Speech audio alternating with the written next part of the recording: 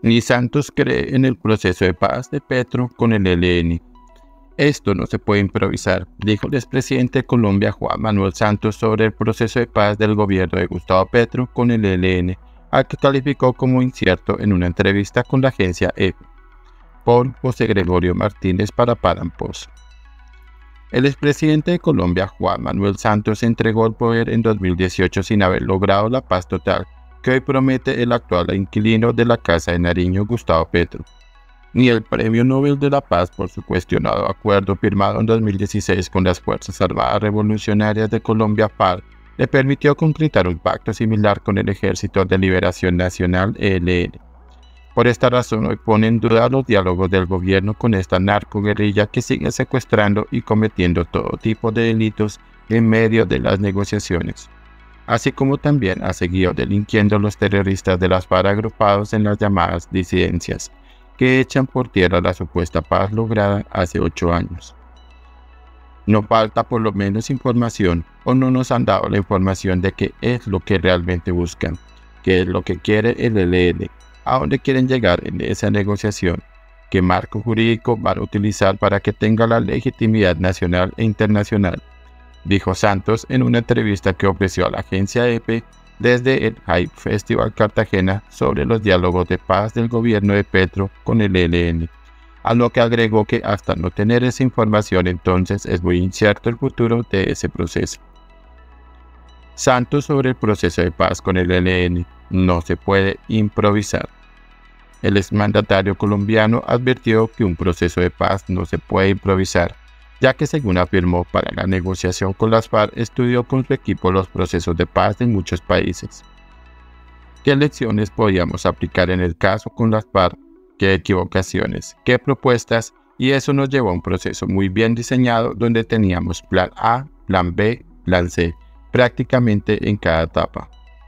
Adicionalmente, Santos destacó que gran parte de la inseguridad que hoy se vive en distintas regiones de Colombia es producto de una guerra entre los grupos criminales por el control del territorio para poder controlar los corredores del narcotráfico.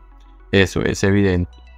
A esto añadió que para hacer la paz se requiere mucho rigor, mucho método, mucha planeación. Yo hablo por lo que nosotros hicimos. El proceso con las FARC fue un proceso milimétricamente planeado, muy estudiado. Sin embargo, el acuerdo de paz firmado en 2016 entre Santos y las FARC contra la voluntad de los colombianos que votaron no en el referendo consultivo no vinculante de este año se derrumbó en 2019 cuando líderes de esa narcoguerrilla que formaron parte de ese proceso retomaron las armas y volvieron a la clandestinidad, agrupándose en lo que llamaron la Segunda Marquetali. Tampoco se puede olvidar que no ha habido reparación a las víctimas, lo que mantiene a la impunidad como protagonista frente a una justicia que aún no llega. El accionar criminal del ELN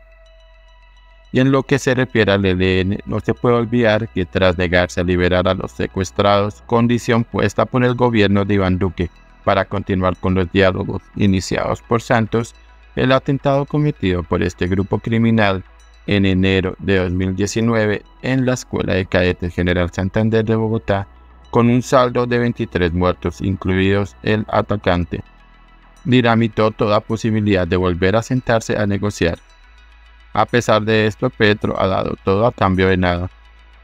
confiando una vez más en la inexistencia de buena voluntad de los criminales. El actual mandatario colombiano firmó julio un decreto en el que se suspendió las operaciones militares contra el ELN como parte de un cese al fuego de 180 días que vencía este lunes 29 de enero y se prorrogó por una semana.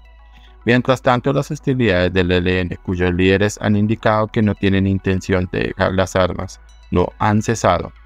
Muestra ello fue el terror sembrado en el municipio Portul, en el departamento de Arauca, con lanzamientos de explosivos contra la fuerza pública el mismo día en que se emitía el decreto. Y aunque el ELN ha en que no comete secuestros, apelando al descarado eufemismo de que solo tienen prisioneros y retenidos, el caso del padre del futbolista Luis Díaz en medio del supuesto cese al fuego dejó en evidencia la acción criminal de este grupo narco-guerrillero.